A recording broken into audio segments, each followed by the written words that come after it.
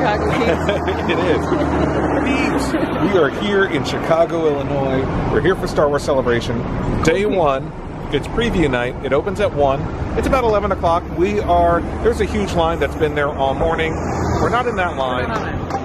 We're going to show up a little bit after opening, try to avoid the initial sweep of people. And instead, we're going to spend our time at Timothy O'Toole's Pub, which is a, um, it's a local pub. It's been on Man vs. Food. And on top of that, they have a special Star Wars celebration menu all weekend. So we're going to go check it out. See? Man vs. Food. 48 beers on tap. Ooh,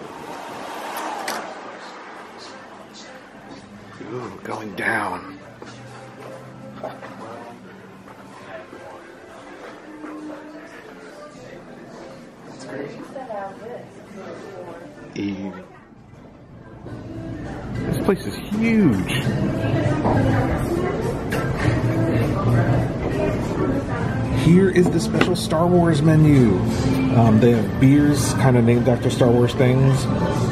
Vanilla Death, Sir Crusher, Space Station Pints, um, all sorts of different kinds of drinks, lightsabers, Vaderita, Ewoking on Sunshine, which is a burger. That's cute. BB ate my other taco, Wampanator, Admiral Snack Bar, Gamorrean Guard. That's Yes, come here all weekend. If you're watching this before April 14th, come check it out. Well, we'll let you know how the food is. Then you come check it out. While we wait for our food, um, I want you guys to know that um, yes, we have media passes for Star Wars Celebration this year. However, we had already purchased our passes, and I was kind of concerned about lotteries and panel systems and things like that. So we have both media passes and we have purchase passes. So just full disclosure here. Here it is. I got the Wampanator, which is Swiss cheese, bacon, fried egg. Normally has mushrooms, but no one likes mushrooms, right? Yes. Yeah. No mushrooms. I got 86 the mushrooms. Comes with fries. Looks delicious. Jen got a salad. She's the healthy one. Yeah. Yes. No. The line to get in. All right, folks, we are heading in to Star Wars Celebration. Here's one of the security checkpoints. This is not the main entrance. There are connecting hotels and other uh, buildings in the McCormick Place that have um, pathways directly in. And here we are, Star Wars Celebration. Over there is the exhibit hall, what we couldn't show you yesterday, but we're going to show you all of it today. Um, this line that we're walking by is for the show store, I believe. So all these folks are in line to get into the show store because we can pretty much just walk right into the exhibit hall right now. This is what they were setting up yesterday.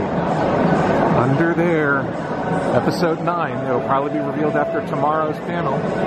Check it out. Episode 8, 7, 6, 5, 4, Rogue One, Star Wars Rebels, Han Solo, Episode 3, Clone Wars, Episode 2, and at the end, Episode 1. I mean, I read them in reverse order, but wow, what an amazing piece of art. This is the crazy line for the Star Wars Celebration show store. Wow, people have been lined up since before 8 o'clock this morning. It is just a super long line. There's a queue in there. Um, they're going to be here all day to get into that show store. Just showed you that crazy long line. And here's where it leads. Here is the queue for the show store. Um, you can see there's another queue inside here, and the show store is behind those black walls. Wow. Amazon is here with daily exclusive products at the treasure truck. Every day they're going to have something special. Today it's an R2D2 mini stir popcorn popper. You can see it behind that guy over there. He just blocked it. There it is. Welcome to Star Wars Celebration.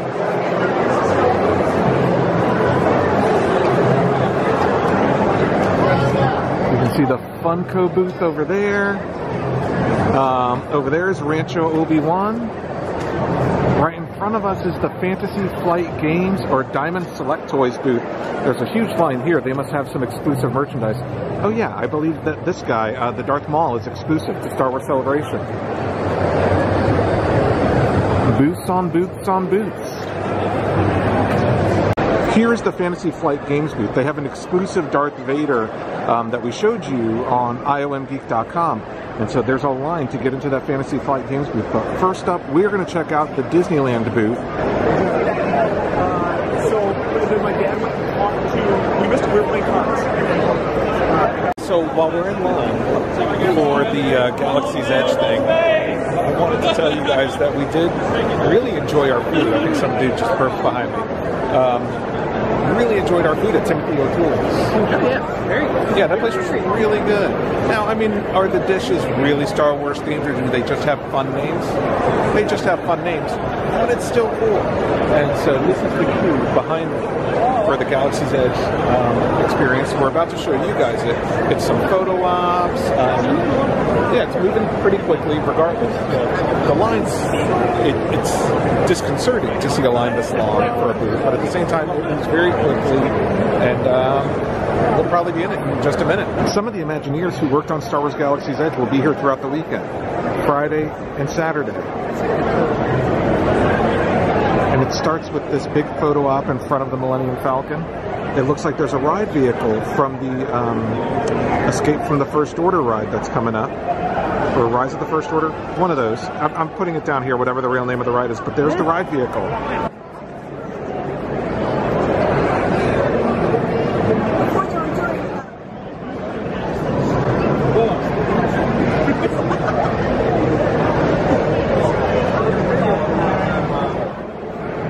Here's a better look at the vehicle from Rise of the Resistance. That's the name of the ride coming to both Disneyland and Walt Disney World, Galaxy's Edge. It's got a resistance droid in the front.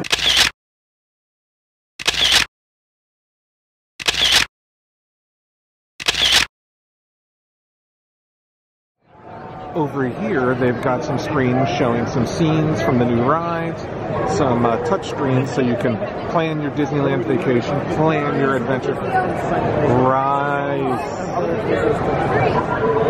Pretty cool. I don't know that I've seen this footage before, but there you go. That ride, bam. They've got a bunch of concept art here from Batuu and the outpost that you're going to be walking through. And up ahead, we're about to look at some merchandise that's going to be for sale. Is a look at some of the merchandise in person that we're, well, in person for us, but on video for you that you're going to see at Galaxy's Edge. Now, everything that they produced, like you can see, none of it really says Galaxy's Edge. It's all designed like you're in the universe. So you've got a bunch of first order stuff on this side and resistance stuff on the other side.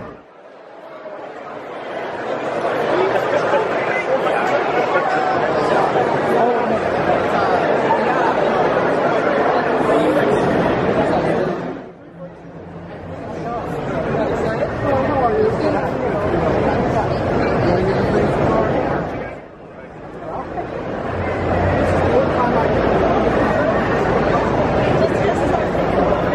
merchandise we just showed you is only on going to be on display for the first two days. Then they're going to switch it up throughout the weekend. Um, this is from the Resistance Supply and the First Order Cargo stores um, that you'll be able to go to at Galaxy's Edge.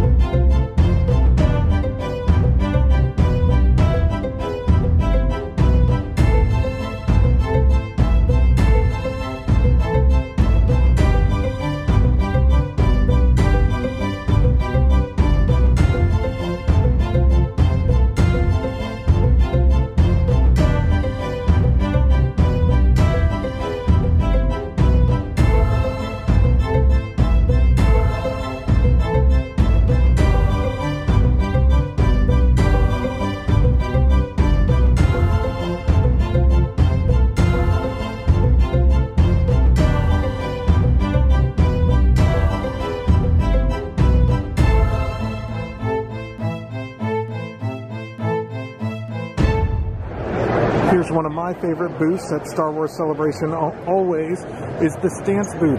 I love the socks that they put out at, at the conventions. They're really comfy. In fact, I was wearing these yesterday. Some fun exclusive stuff. In fact, the ones that they're releasing today are the concept art socks that you can see over there. They also have briefs or boxer briefs. Here's a better look at the concept art socks that are coming out here. They've con- here. look at it. Yeah. So they're based on the Ralph McQuarrie concept art that we've all probably seen. This Vader one's actually pretty sweet. Old school 3PO. 20 bucks a piece. 20 bucks a piece. Here is the Funko booth with all the exclusives that are available here at the show. Bunch of fun stuff. Pez's, Pops, book bags from Loungefly. Is a look at the Celebration exclusive Wilson football from the Phantom Menace, celebrating the anniversary. Here is the Geeki Tiki's booth.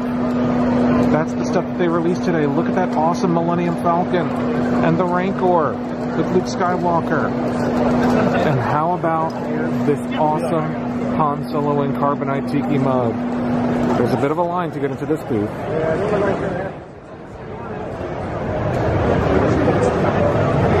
Look at the line for the Hallmark exclusives. Hallmark is releasing some very cool exclusives here at Star Wars Celebration, including these Ralph McQuarrie inspired concept art R2D2 C3PO, Darth Maul salt and pepper shaker that separates in the middle, this Ahsoka Tano pin, some of these little guys. Check out this cool exhibit 20 years of Lego Star Wars, starting with the Phantom Menace licensing agreement starting in 1998.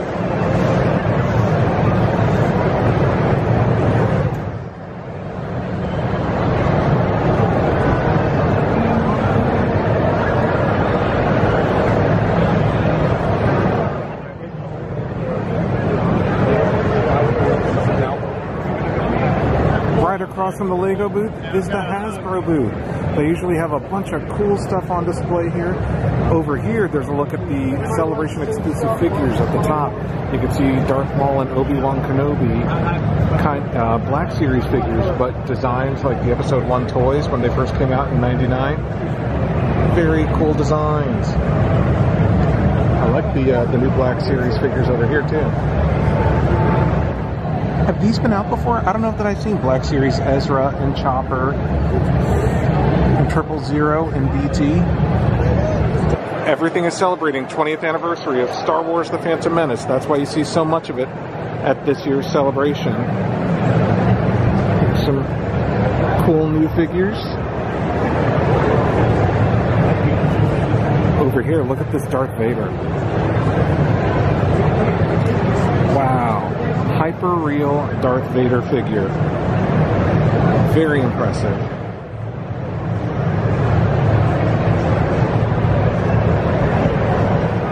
Here's a look at the Star Wars Resistance figures now in stores.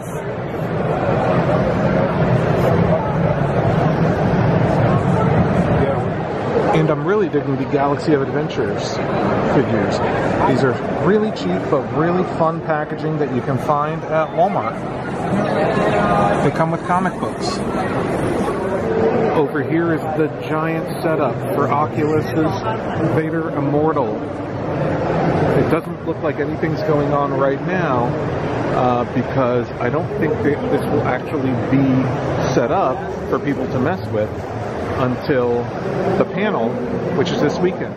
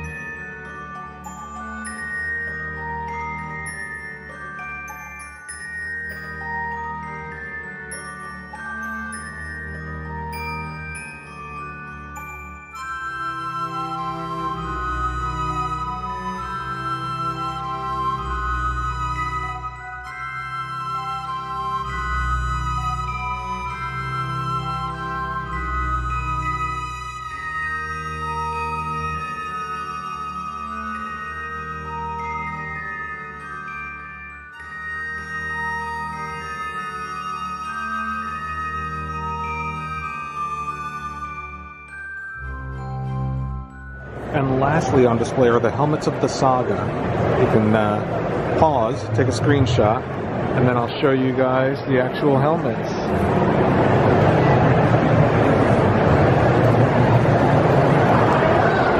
So amongst all these helmets, that one right there is a screen-used Vader helmet from Return of the Jedi. Check this out, guys. It's an outer rim speeder bike screen-used prop from the upcoming Mandalorian TV show.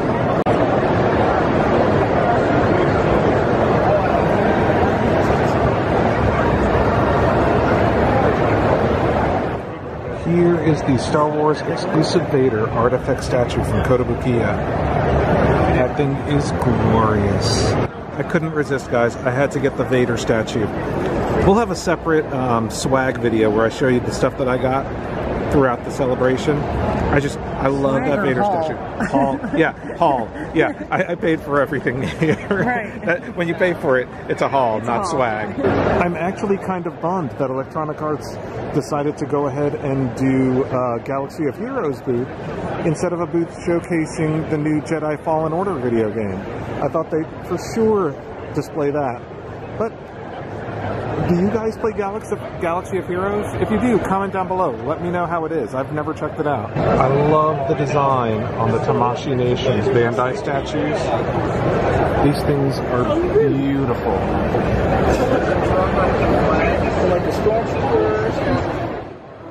Here's some awesome photographs taken of those figures I was just showing you.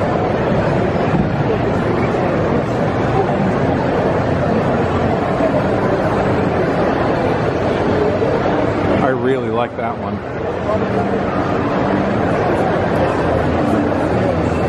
This one right here?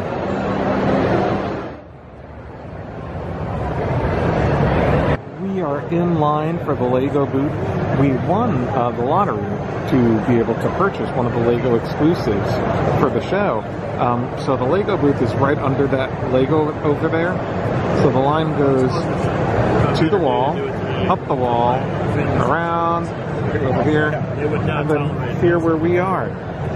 It is significantly long, and it is only the people who won the lottery in this line. Yeah, That is crazy. All right, peeps. Thank you guys for watching. I hope you really liked this first look at the first day of Star Wars Celebration in Chicago 2019. It's been a fun day. We got a bunch of cool stuff. Can't wait to show you guys the haul video. Um, got something that I may be giving away on the channel. So there's your hint. Um, not maybe, that I'm going to be giving away. So if you're interested, make sure you hit the like and subscribe buttons down below. Hit the notification thing too so you're notified when I put up a new video. Because this weekend, in a future Star Wars Celebration video, I'm going to tell you guys how you can win what's in this bag. So make sure you leave a comment down below. If you're here this weekend, say hi if you see us. Thank you guys for watching, and may the Force be with you.